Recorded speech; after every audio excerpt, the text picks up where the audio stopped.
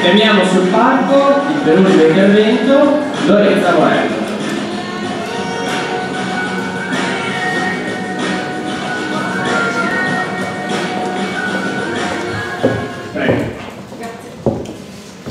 Allora, grazie a tutti, grazie ad Alessio per l'invito, Grossman la mia quota blu. In un momento di quota rosa io me li porto sempre dietro, no, a parte gli scherzi. Quando ci siamo confrontati con Alessio per capire quest'anno di che cosa avremmo parlato ad Innova, visto che già lo scorso anno abbiamo parlato di industria, e lui mi ha detto guarda, perché visto che tu sei giurista di impresa, ma sei anche nella commissione Casa Italia per la messa in sicurezza e non potevamo non parlarne adesso che è arrivato anche il ministro competente, eh, non parliamo di un, uno dei due temi, o piano industria 4.0 oppure la questione immobiliare. E io ho detto, ma pensiamoci un attimo, non sono mica distinti questi due discorsi. Il tema della sicurezza è un tema che pervade tanto il settore immobiliare, e qui abbiamo un rappresentante direttore generale di Asso Immobiliare e Mirko Annibali, eh, collega fiscalista e rappresentante del mondo istituzionale. Il tema della sicurezza è un tema che pervade qualsiasi ambito del nostro vivere comune, l'ambito delle aziende, perché un'azienda va messa in sicurezza dal punto di vista infrastrutturale, dal punto di vista economico, dal punto di vista fiscale e dal punto di vista del trapasso generazionale, ma anche tutti gli altri ambiti del vivere quotidiano.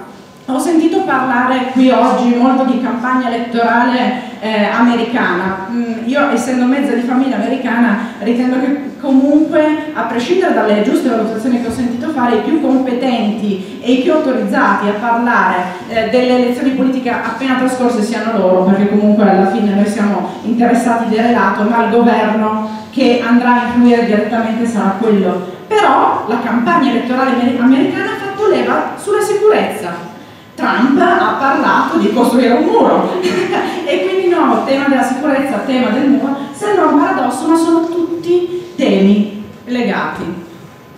Come possiamo fare a unire le buone pratiche del settore industriale e del settore immobiliare? Il governo, di cui abbiamo avuto stamattina dei rappresentanti e abbiamo adesso eh, un rappresentante d'eccellenza a livello governativo, lo sta facendo non solo con il piano industria 4.0 che come dicevamo stamattina al tavolo di lavoro è non finalmente l'Italia ricomincia a parlare di impresa, no, finalmente abbiamo una norma che inizia a parlare di impresa, perché il fatto che in Italia abbiamo avuto delle grandi aziende eccellenti, io sono torinese e Torino è stata nota nel bene o nel male, perché poi anche qui nessuno è profeta in patria per la Fiat, ma non significa che il nostro paese abbia avuto una politica industriale, noi abbiamo avuto dei grandi imprenditori, degli imprenditori che sono stati capaci di fare impresa nonostante nel nostro paese non ci sia mai stata una legge sull'impresa. E da che cosa dimostriamo tutto questo? Lo dimostra il fatto che non c'è un'università che forma gli imprenditori. Noi formiamo architetti, formiamo ingegneri, formiamo avvocati, ma ditemi voi quando sentiamo parlare di start-up, chi mai vi ha insegnato come si fa una start-up?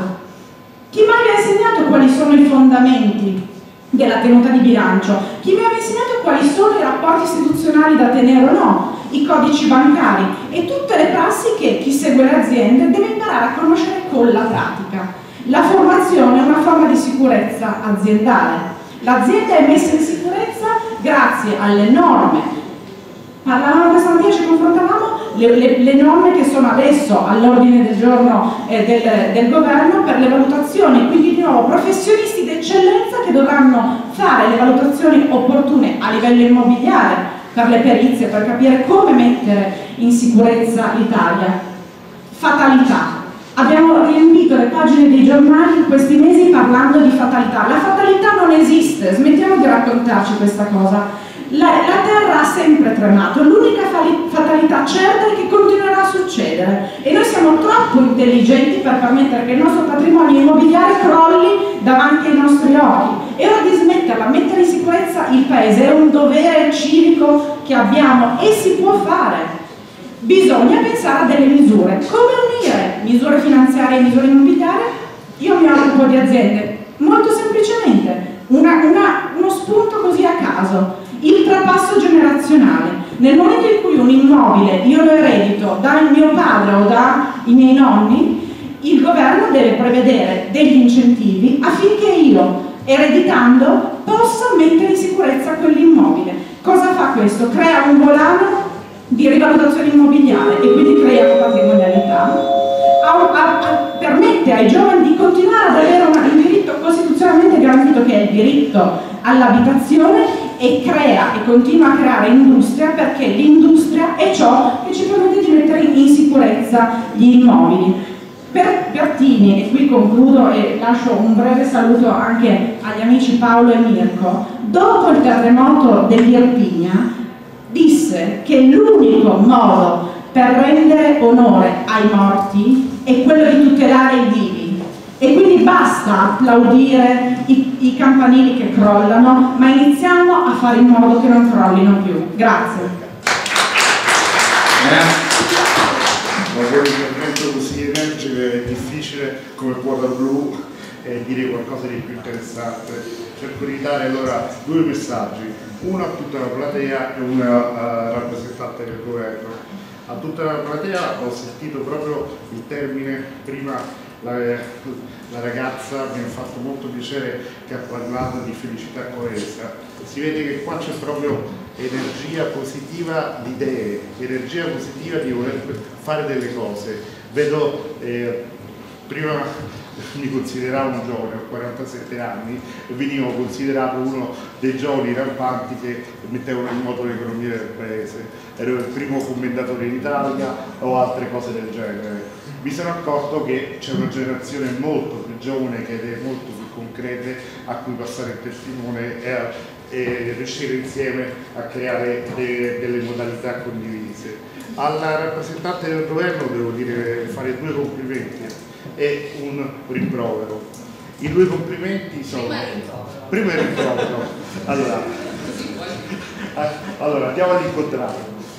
Il rimprovero è che se fosse più presente, non può essere su tutte le tematiche, ma se fosse così presente come è stata al MIPIM, la Fiera Mondiale dell'Immobiliare l'anno scorso e spero che ci arriverà eh, pure quest'anno, dei messaggi che è riuscita a, si è riuscito a trasmettere per un futuro reverenziale eh, sono stati fondamentali per tutto il Paese perché da allora si sta parlando di messa in sicurezza. Scusate, dobbiamo chiudere perché sennò sforiamo okay, coi tempi. Allora, allora, erano 5 minuti ed erano 5 minuti allora, perduti. Sono allora che ho fatto soltanto il